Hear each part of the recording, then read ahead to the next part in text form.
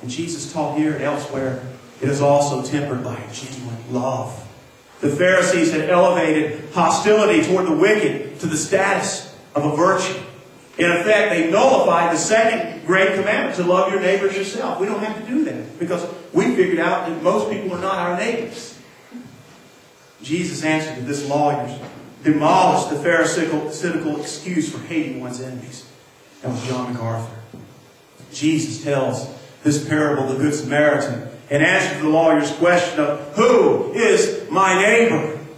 Notice in our text, verse 30, there's a problem, a serious situation. Verse 30, Jesus took up the question and said, A man was going down from Jerusalem to Jericho and fell into the hands of robbers. They stripped him, they beat him up, and they fled, leaving him half dead. There's a serious problem here. Serious situation. Man's traveling from Jerusalem to Jericho, which is a rocky, winding, treacherous descent for 18 miles that provided an excellent terrain for bandits and robbers. And this traveler is robbed. He's wounded. He's left along the roadside to die, completely helpless, completely alone.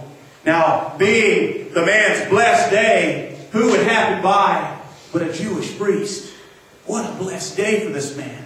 A descendant of Aaron who would have had priestly responsibilities in the Jerusalem temple. Now, if ever there was someone this man could count on, would it not be a priest? He offered no help. Look at verse 31.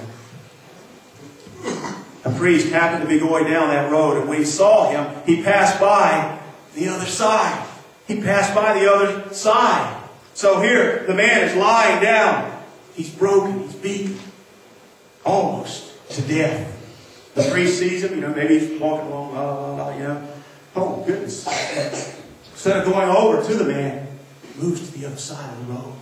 I'm going to get as far away. Let's just kind of think. It doesn't tell us what this man was thinking, what this priest was thinking, why he would walk to the other side. But he may have thought, well, this man's beat up, he's hurt. He's hurting. Maybe those that hurt him are going to come back and they'll hurt me too. maybe that was his thought. Or, I've got so much work to do in Jerusalem at the temple. I've got so much to do. I don't have time for this man. I don't have time for him. Now, he does look familiar. He may be someone who I've seen there at the temple, but that's okay. I don't have time for him. He moves on. He offers no help. I believe that this Jewish priest represents the religious world, the religious leaders, the Pharisees, the experts in the law, those that are leading the church. Do we see people hurting and then just pass by, step over the side say, No, I don't, I don't help them? And they may not just be hurting in this manner. I haven't seen too many people in Bingham, and I haven't yet to see anyone lying on the street, bleeding, beat up, and hurt, half dead. I haven't seen that yet. I've seen it in Greenville. I have seen it there. I haven't seen it here. But people are hurting. What about the woman who has no husband? The husband's left her or died. She's got a child. She didn't know how she's going to keep the water on so she can bathe herself or bathe her child. What about those who, who uh, have to go to the hospital all the time and be up there and, and, and they can't seem to take care of their families? There's just so much to do. Where are we? If we step to the other side, God, we'll just walk them by. Maybe someone else will take care of it.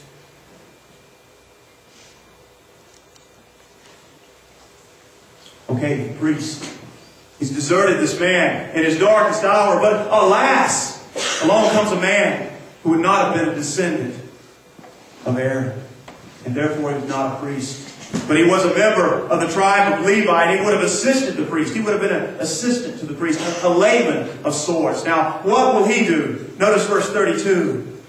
In the same way, a Levite, when he arrived at the place and saw him, he passed by the other side. And it seems that this assistant to the priest has learned well. He did the same thing as the priest. Maybe they had classes there at the temple. You see someone hurting, you, you need to move like this. Just, just take one step over. Step out of the way. Maybe he had learned well. Now, this Levi could represent the hypocritical church world. A phony religious world. Basically, playing church. We talk about that a lot here. Playing church. We don't want to be playing church. We want to be about the things of God. I had a man come up to me the other day. I was at a store. He came up. He said, I hear that y'all are an active church. An active church. And, he used a word that kind of caught me off a little bit, caught me off guard a little bit. It's, uh, in the religious world, it's not necessarily a good term, progressive. He said, I hear that y'all are a progressive church. But he explained what he meant by that. He was speaking in business terms. You're a church that goes out, wants to be a part of the community, wants to help. I thought that was a wonderful thing to be said. Praise the Lord for that. But it's never, ever, ever enough. We can't rest on that. Oh, well, somebody said something. Oh, great. Well, let's just lay back take it easy. No, we've got to be about reaching those in this community. Reaching them. Not a phony religious group who hang around and have a little show together. Maybe we can all get in the water and baptize each other. Maybe we can take to the communion table and have a good time. A little phony religious life. It's not what we're to be about. We're to be about the things that Christ was about and see what he's teaching here. Now, someone else happens along here. An enemy of the Jews. A Samaritan. Culturally, it would have been unthinkable for a Samaritan to help a Jew and vice versa. They hated one another terribly. What had happened, these Samaritans, this, this Samaritan would have been an offspring of where the Jews had intermingled or intermarried with Gentiles. And so they were not just hated by the Jews, they were also hated by the Gentiles. By both. So kind of the Samaritans were just a group by themselves that were just hated by everyone. But notice verses 33 through 35.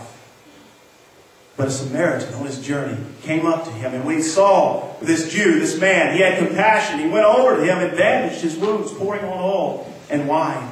And then he put him on his own animal and brought him to an inn and took care of him. The next day he took out two denarii and gave them to the innkeeper and said, Take care of him. When I come back, I'll reimburse you for whatever extra you spent. I will reimburse you.